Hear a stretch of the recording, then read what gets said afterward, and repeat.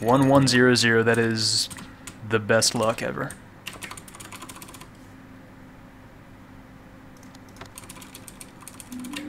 That'll never happen again.